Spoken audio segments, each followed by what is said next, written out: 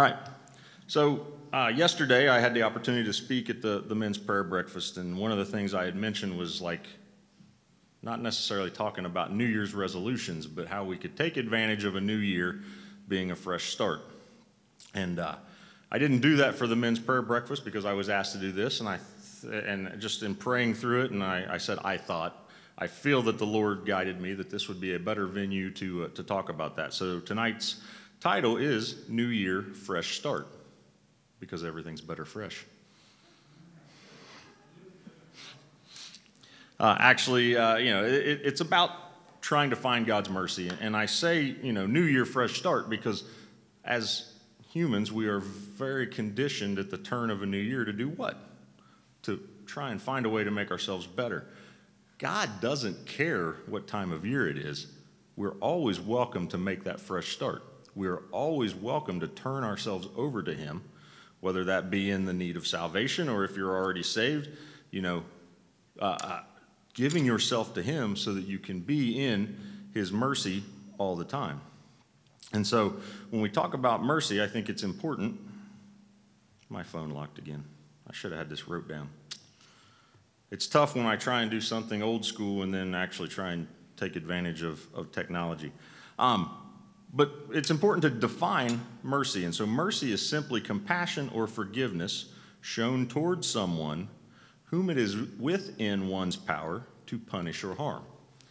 So, I think, you know, when you think about mercy from any perspective, right, uh, you know, we, we can think about it from, from biblical stories, we can think about sports, right, the mercy rule.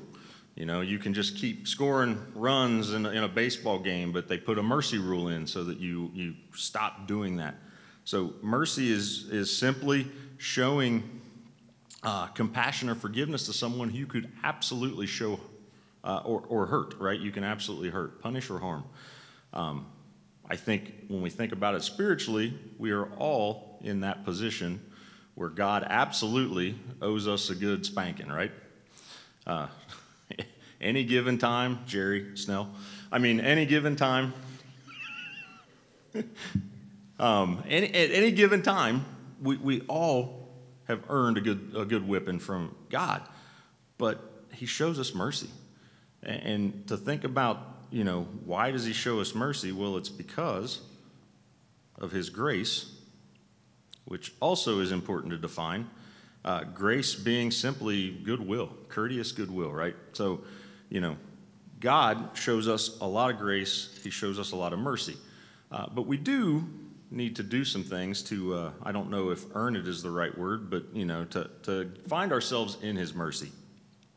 So, just as, as some of the background, um, you know, when I think of the struggle of struggles for us as Christians, right?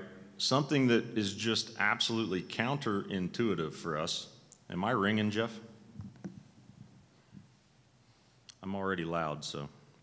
Um, you know, it's the thing that can make our lives messy. It can it can cause conflict in our relationships. Uh, you know, it, things that sidetrack our thoughts. Um, you know, it's it's the thing that points out to our our need for grace, uh, our need for, um, you know, finding a, a, way out of the battle that we just can't ever escape. Um, you know, the, the one place where 10 out of 10 of us need rescue, um, you know, but we, we need to turn to God to fight it on our behalf. Um, you know, this constant struggle that we have is simply that it's not about us, it's about God. Um, it's about God and His plan for us, it's about God and His kingdom, and it's about God and His glory. And how often do we get caught up in, and look, I'm going to do the Tom Knox, right?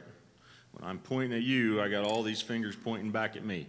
Because how often does Mike Graver get caught up in what I've got going on?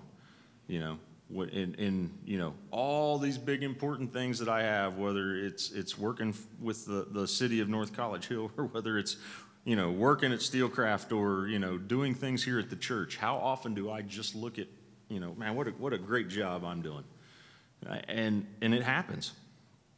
You know, so I struggle with that daily, but it's not about us. It's not about me. It's not about you. It is about God. It's about uh, His plan uh, for us, and it's about uh, pointing everything we do towards His glory. So, simply to get uh, to where we are, are receiving God's mercy, what are some of the real, realizations that we must all make? Okay, so I, I think the first one is exactly what I just said, right? Our Christian life is not about us, it is about Him. Um, so we're going to read a lot of scripture tonight. So uh, I hope you like to, uh, to read along, but we're going to start in Psalm 115. Um, you know,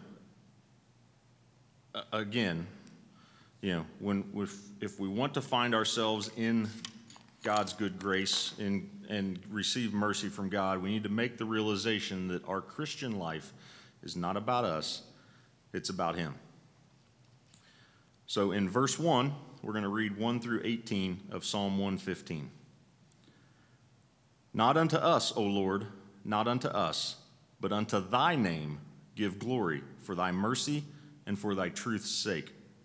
Wherefore should the heaven the heathen say, Where is now their God?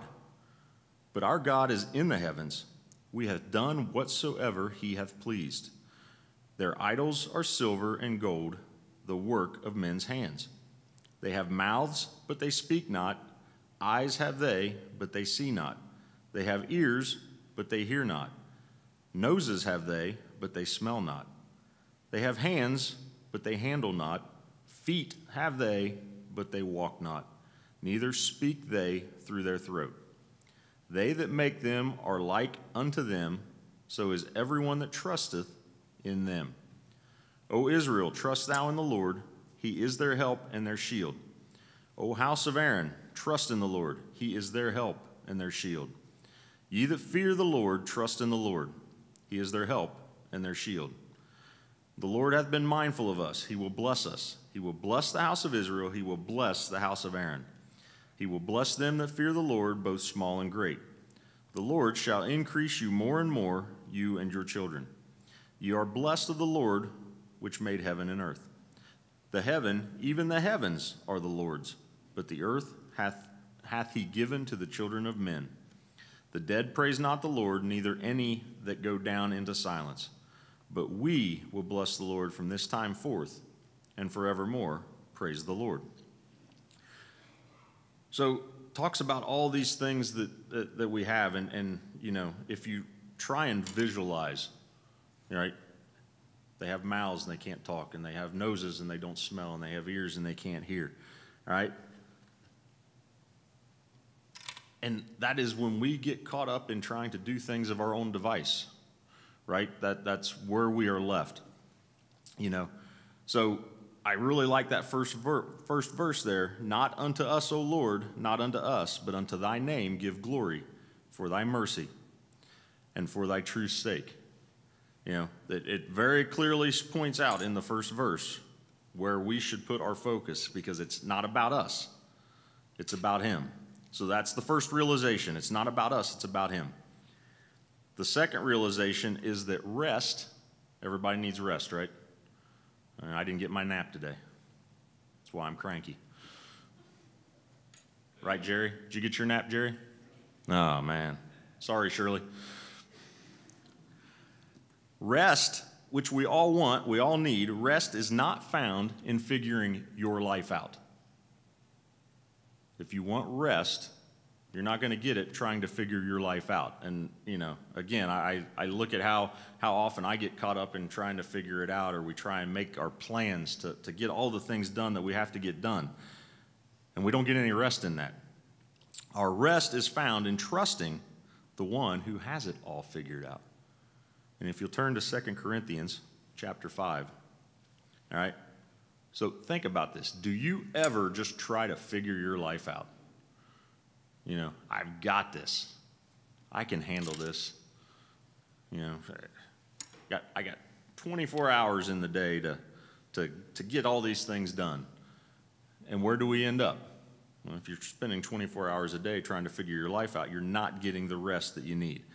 So if you want to find that rest, you got to trust in the one who's figured it all out. So in 2 Corinthians 5, we'll read verses 1 through 10.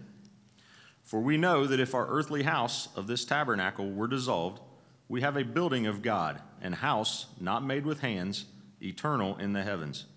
For in this we groan, earnestly desiring to be clothed upon, be clothed upon with our house, which is from heaven. If so be that being clothed, we shall not be found naked. For we that are in this tabernacle do groan, being burdened not for that we would be unclothed, but clothed upon that mortality might be swallowed up of life. Now he that hath wrought us for the, the self same thing is God, who, ha- who also hath given unto us the earnest of the Spirit.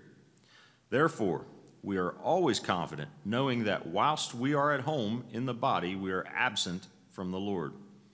And I like that, right? We can be confident that while we're at home in our body, we are absent from the Lord. For we walk by faith, not by sight. We are confident, I say, and willing rather to be absent from the body and to be present with the Lord. Wherefore we labor that whether present or absent we may be accepted of him. For we must all appear before the judgment seat of Christ, that everyone may receive the things done in his body according to that he hath done, whether it be good or bad. So if we try and take it all on ourselves and figure it all out, figure it all out ourselves, we will never find that rest. Right? We can be confident that if we're doing it on our own, we're not trusting in God to help us with those things. And at the end of the day, you know, why is it so hard for us to give in to Him, to trust Him to help us with that? Um, you know, I, I, can think of examples in my own personal life when, you know, I, I really, really made that focused effort to turn, turn it over to God. And you know what? You don't always get the exact result you want, but at the end of the day, it's the result that we need. And so, you know, that, that's where we need to, to make sure we are trusting in God to, uh, to receive His mercy and His grace, because that's where we're going to find our rest. So, number one, Christian life is not about us, it's about Him. Number two, rest is not found in figuring your life out, it's found in trusting the one who has it all figured out. Number three, and we'll go to Luke chapter 12 for this one, and, and maybe spend a couple extra minutes on this one as, as opposed to some of the other ones. But if eternity is the plan, if eternity is the plan, then it makes no sense to shrink your living down to the needs and wants of this little moment. As a born again believer, eternity should absolutely be the plan, right? So, why do we constantly get caught up in the, the day to day or the minute by minute things that we have going on in our lives? And think about when you get all caught up in that day to day or that hour by hour or that minute by minute, what are some of the things that it leads to in our lives? Worry, fear, doubt. You know, I, I, I get afraid to, to say things at, at work maybe that should be said, right? Or I doubt myself in, in a decision I make. You know, and, and I'm sure that we've all felt those same things. But if the plan truly is our eternity, then why do we get caught up in these, these little things, these needs, these wants of this exact moment? So in Luke chapter 12, uh, we'll start in verse 13 and read through verse 21. And one of the company said unto him, Master, speak to my brother that he divide the inheritance with me. And he said unto him, Man who made me a man who made me a judge or a divider over you. And he said unto them, Take heed and beware of covetousness, covetousness, covetousness, for a man's life consisteth not in the abundance of the things which he possess, possesseth. And he spake a parable unto them, saying, The ground of a certain rich man brought forth plentifully. And he thought within himself, saying, What shall I do, because I have no room where to bestow my fruits? And he said, This will I do. I will pull down my barns and build greater, and there will I bestow all my fruits and my goods. And I will say to my soul, Soul, thou hast much goods laid up for many years. Take thine ease, eat, drink, and be merry. But God said unto him, Thou fool, This night thy soul shall be required of thee. Then whose then whose shall those things be which thou hast provided? So is he that layeth up treasure for himself and is not rich toward God. So, how many times have we sat in a church service or a Sunday school class and that parable has come up as part of a lesson? Right? What was this master's plan when he decided he needed bigger barns for all of his stuff? Was he thinking about the long game? Was he thinking about eternity? It doesn't sound like he was. Uh, you know, and I think that it's proven in verse 20 because God said, What did God call him? Thou fool. Right? So I, I, guess I could almost say that I get aggravated with myself when I get caught up in the, the worry, the fear, the doubt of the day to day and these decisions that we're making that seem like such big decisions, right? It, it, the ramifications are huge. But when you compare them to God and His plan, which is eternity, yeah, they're, they're, they're nothing, right? They're not even a drop in the bucket to, uh, to what He has. So, you know, how do we get out of thinking about and focusing about the, the needs and wants that we have in these little moments and putting eternity as our plan? So, the fourth realization that we need to make is that acceptance is based on Christ's righteousness, not yours. No matter how obedient you or I are. Think about that for a minute. And when we talk about acceptance, right, it's acceptance into, into heaven, it's acceptance into that eternity. The acceptance is not is based on Christ's righteousness, not yours. There is no amount of works, no amount of good deeds that you can do to get God's mercy, to get God's grace, to spend that eternity in heaven. All right? You know, when we, we think about ultimately what gets us into heaven, right? It's that faith and trust in Jesus, and that's all based on the blood that he shed, right? It's not based on our works. Doesn't mean we shouldn't be doing things here on earth. You know, uh, our time at Ronald McDonald House is well spent. It is a great opportunity to, to do something good. You know, we talk about the, the college and career class doing this polar plunge. It's great. It, God absolutely expects us to help out our fellow man, right? Those that are in need. Um, but none of that, no matter how much it falls in line with what God wants us to do, is going to get us that acceptance. It is all based on Christ's righteousness. Uh, if you want to turn to Galatians chapter 3, that will be our next reading.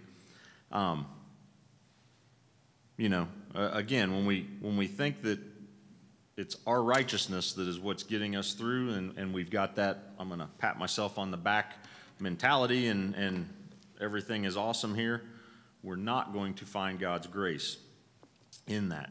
We have to make sure that we are getting our acceptance based on His righteousness. So in Galatians 3, we're going to read verses 1 through 14. O foolish Galatians, who hath, be, who hath bewitched you, that ye should not obey the truth, before whose eyes Jesus Christ hath been evidently set forth, crucified among you. This only would I learn of you receive ye the Spirit by the works of the law or by the hearing of faith?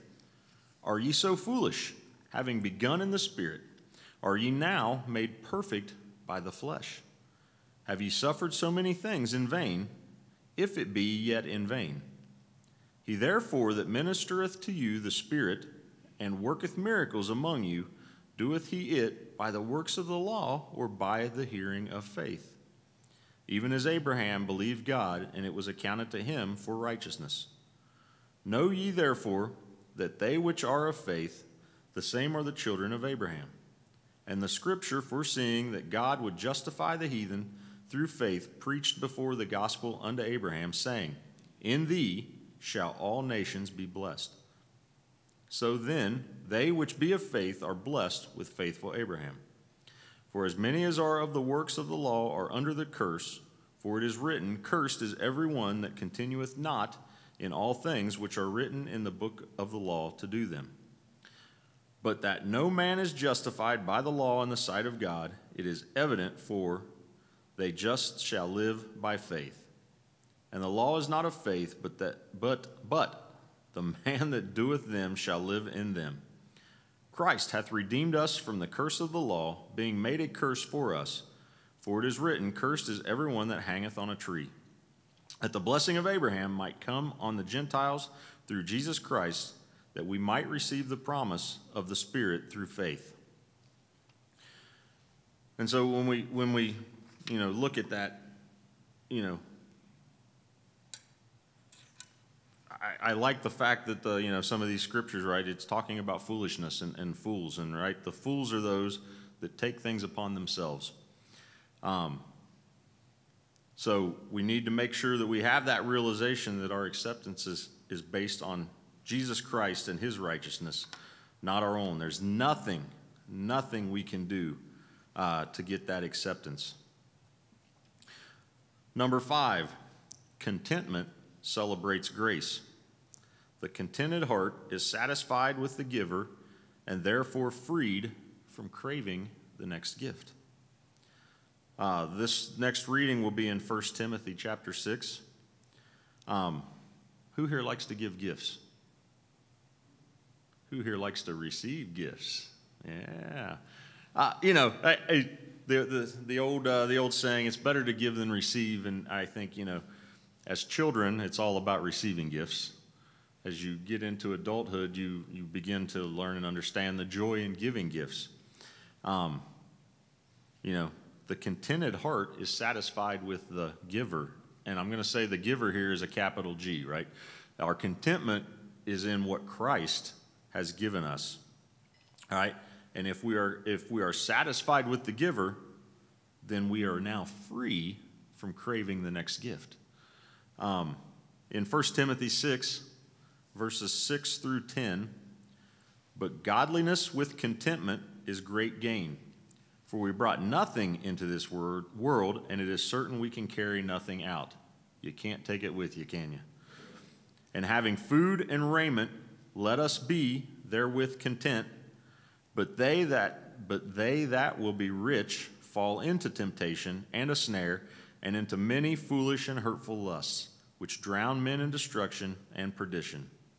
For the love of money is the root of all evil, which while some coveted after, they have erred from the faith and pierced themselves through with many sorrows. So, this is a, a passage here that literally says, right? Uh, godliness with contentment, right? Being content with what the giver has given us is great gain. And then it gets into, you know, the, the lusts and the desires of wanting that next gift, whether it, it, it's money or cars. You know, we all all think that the, the best thing that can ever happen to us is a big house, you know, that fancy Cadillac or, or whatever it is, right? And, and what we really need to be satisfied with is what Jesus Christ can give us. That is what puts us in a place uh, of being in His grace and His mercy. All right, the sixth realization is that you need it every day, and by it, it is the indwelling presence of the Holy Spirit. So if you turn to Romans 8, uh, we'll start in verse 1 there. But, you know, think about this. All right? You need it every day, and it is the indwelling presence of the Holy Spirit. Um, you know, sometimes it, it is very difficult uh, to think about this. Um, but that's the, the whole point, right? This isn't about thinking. This is about uh, putting our trust in God. This is about having that relationship, that true relationship with God, you know, that you can only have through Bible study, Christian fellowship, and a good prayer life. And I think we all can probably uh, say it would wouldn't hurt us to work on our prayer life. Uh, I'm absolutely guilty of that. It, it comes and it goes sometimes, and I and I don't. You know, it, it's hard to have that indwelling presence of the Holy Spirit when you you know you're not utilizing your your prayer life as you should. So in Romans eight, uh, starting in verse one, and we'll read through verse seventeen. There is therefore now no condemnation to them which are in Christ Jesus, who walk not after the flesh, but after the Spirit. For the law of the Spirit of life in Christ Jesus hath made me free from the law of sin and death. For what the law could not do, in that it was weak through the flesh, God sending his own Son in the likeness of sinful flesh, and for sin, condemned sin in the flesh that the righteousness of the law might be fulfilled in us who walk not after the flesh, but after the Spirit. For they that are after the flesh do mind the things of the flesh, but they that are after the Spirit, the things of the Spirit. For to be carnally minded is death, but to be spiritually minded is life and peace. Because the carnal mind is enmity against God, for it is not subject to the law of God, neither indeed can be. So then they that are in the flesh cannot please God. But ye are not in the flesh, but in the Spirit, if so be that the Spirit of God dwell in you. Now, if any man have not the Spirit of Christ, he is none of this. And if Christ be in you, the body is dead because of sin, but the Spirit is life because of the righteousness. But if the Spirit of him that raised up Jesus from the dead dwell in you, he that raised up Christ from the dead shall also quicken your mortal bodies by his Spirit that dwelleth in you. Therefore, brethren, we are debtors not to the flesh to live after the flesh. For if ye live after the flesh, ye shall die. But if ye through the Spirit do mortify the deeds of the body, ye shall live. For as many as are led of the Spirit of God, they are the sons of God. For ye have not received the spirit of, bond, of bondage again to fear but ye have received the Spirit of adoption, whereby we cry, Abba, Father. The Spirit itself beareth witness with our spirit that we are the children of God. And if children, then heirs, heirs of God and joint heirs with Christ, if so be that we suffer with him, that we may also be glorified together. You know, very simply put, right? If we don't have the, uh, the indwelling Holy Spirit, you know, then we are stuck in our flesh, and flesh at the end of the day dies, doesn't it? Right? It, it's that spiritual side. It's having that indwelling spirit. You know, that, that's what we're going to uh, to live um, on throughout eternity. Um, you know, in verse nine it says, "Now, if any man have not the spirit of Christ, it says he is none of this, of none of his." All right. If if, uh, if you do not have the Spirit of Christ, you are none of His. So we need it every day. We need that indwelling presence of the Holy Spirit. And then the seventh thing to realize is that the DNA of joy is thankfulness. Have you ever noticed an entitled, complaining person being very joyful? The DNA of joy is thankfulness. And uh, we're going to go to Psalm 107 for the, this next reading. But, uh, you know, I, I,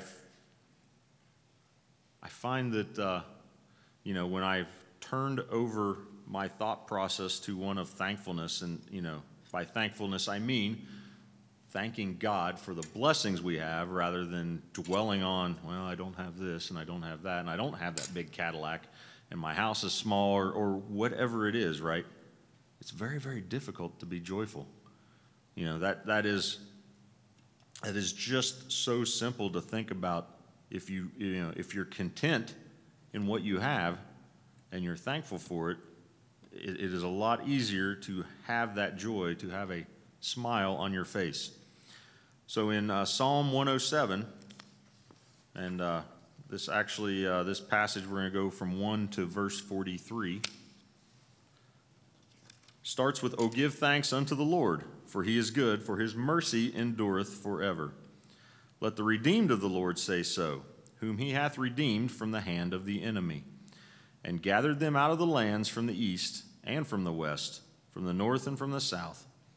They wandered in the wilderness in a solitary way. They found no city to dwell in. Hungry and thirsty, their soul fainted in them. Then they cried unto the Lord in their trouble, and he delivered them out of their distresses. And he led them forth by the right way, that they might go to a city of habitation. Oh, that men would praise the Lord for his goodness and for his wonderful works to the children of men. For he satisfieth the longing soul and filleth the hungry soul with goodness.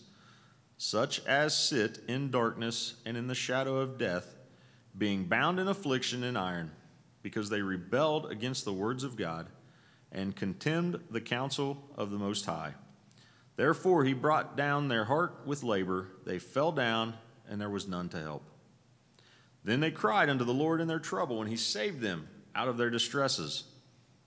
He brought them out of the darkness and the shadow of death, and brake their bands in sunder. Oh, that men would praise the Lord for his goodness, and for his wonderful works to the children of men. For he hath broken the gates of brass, and cut the bars of iron in sunder. Fools, because of their transgression and because of their iniquities, are afflicted. Their soul abhorreth all manner of meat, and they draw near unto the gates of death. Then they cry unto the Lord in their trouble, and he saveth them out of their distresses. You catching a pattern here? In verse 20, he sent his word and healed them and delivered them from their destructions. Oh, that men would praise the Lord for his goodness and for his wonderful works to the children of men. And let them sacrifice the sacrifices of thanksgiving and declare his works with rejoicing. They that go down to the sea in ships that do business in great waters. These see the works of the Lord and his wonders in the deep. For he commandeth and raiseth the stormy wind, which lifteth up the waves thereof. They mount up to the heaven, they go down again to the depths. Their soul is melted because of trouble. They reel to and fro and stagger like a drunken man, and are at their wits' end. Verse 28 Then they cry unto the Lord in their trouble, and he bringeth them out of their distresses. He maketh the storm a calm, so that the waves therefore are, or thereof are still. Then are they glad because they be quiet, so he bringeth them unto their desired haven. Oh, that men would praise the Lord for his goodness and for his wonderful works to the children of men.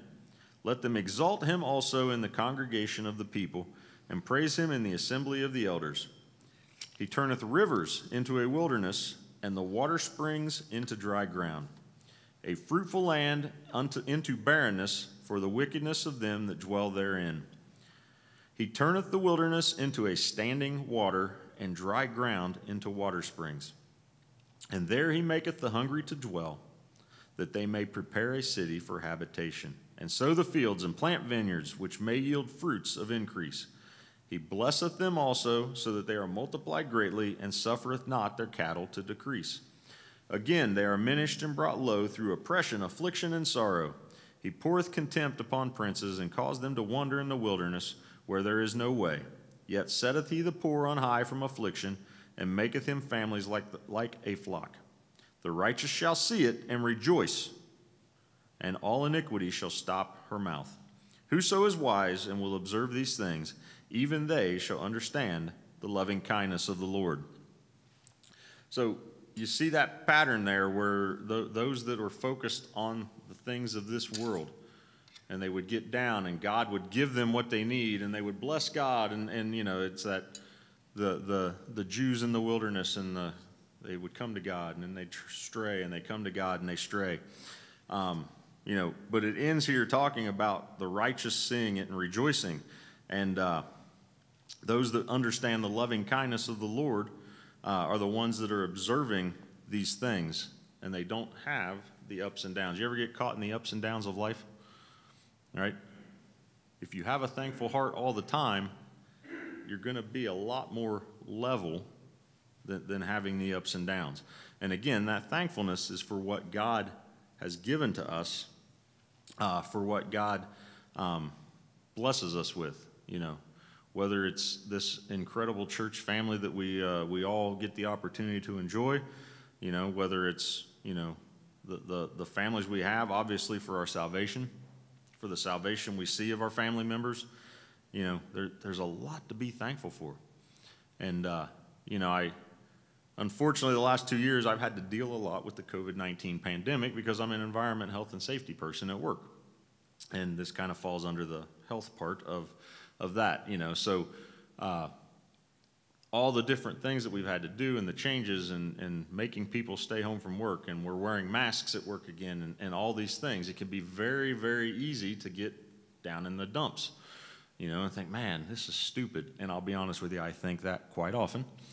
Um, but be thankful for what God has given me, which is a great opportunity at a great job that, you know, I can, you know, use it more to, uh, to get his agenda across and not my own. Um, so when we talk about the, the seven things there, that, that the seven realizations we need to, to make, you know, I, I want to say that the first step to fixing a problem is what? Admitting there's a problem, right? That's the first step. So, you know, it's taking the initiative for us all to admit that living as people, living for the glory of another is not natural for us. We want to self promote, we want to self gratify, we want to, you know, it's not natural for us to live for the glory of another in our uh, human skin. Um, but the first four words in the Bible are what? In the beginning, God. That's pretty important, isn't it? Creation was made by Him, for Him. You know, what is our purpose here each and every day? Is it for us to be caught up in our minute by minute problems? Or is it for us to point all the things we do to His glory? All right? Everything we do uh, should point to the glory of God. And uh, I can think of no greater example of this than the Apostle Paul. And uh, I've been doing a lot of extra reading on, on Paul uh, I guess maybe sparked by the, the chosen story and the, and the, you know, seeing some of those things. So I've really spent a lot more time reading about Paul. I know Paul's not in the chosen, but, you know, he is a, he's an intriguing example of somebody who was clearly caught up in the day to day, right? Persecuting Christians and doing all of those other things. Um, but he is a great example uh, and it's the example that he's setting here is one single verse in 1 Corinthians chapter 10, if you would like to, to turn there. Um, you know, Paul absolutely believed that every single thing we do should be done to the glory of God. And in 1 Corinthians 10 and verse 31, he says, Whether therefore ye eat or drink or whatsoever ye do, do all to the glory of God. Read that again. Whether therefore ye eat or drink, anybody here eat or drink today? Whether therefore ye eat or drink, or whatsoever ye do, do all to the glory of God. You know, when, when Paul thinks of his call to live for the glory of God, He's not thinking about those big ticket things, right? He's not thinking of the big life changing spiritual moments, right? He doesn't talk about when he was struck blind and, you know, you talk about a salvation experience, right? I mean, that is, that, that, that is like one of the most awesome salvation experiences ever that Paul got to experience. That's not what he talks about here. He talks about something that is mundane, something that is repetitive. Now, don't get me wrong, I like to eat and drink, man. You know, you, you put, put a steak in front of me, I'll, I'll, sing, I'll sing praises all day. But, you know, Paul focuses on a small thing that we do each and every day. Whether you eat, whether, whether therefore you eat or drink, do that to the glory of God. Everything we do, um, we should be doing towards the glory of God. So that is where our fresh start comes in. It's that desire to give it all to Him. And with that, we'll close in prayer. If everyone will bow. Lord and Father, we're thankful for this opportunity again to be here in your house, Lord. I just pray, Lord, that, uh, that this message uh, uh, is something that we can all uh, think about, Lord, that we can all dwell on, and that we can all apply to our lives, Lord. We're just thankful for the many examples we have in the Bible, but particularly for that example of Paul, Lord, and, and uh, how he gave us uh, uh, a good guide to how to live a Christian life through tough times.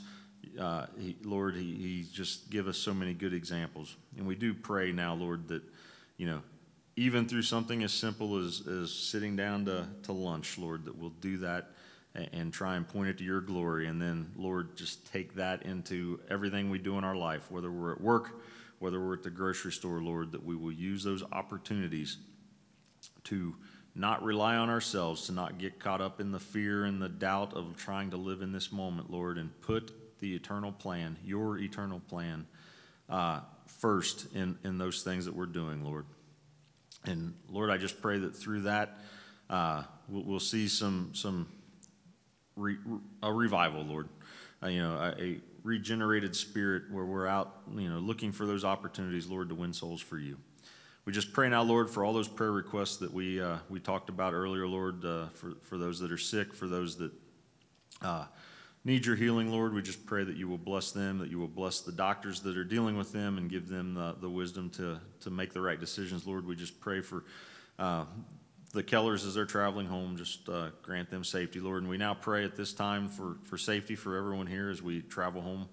Lord, we just pray that you will uh, grant us that safety and that again we'll, uh, we'll apply the things that we have heard today into our everyday lives. We ask this all in your son's name. Amen.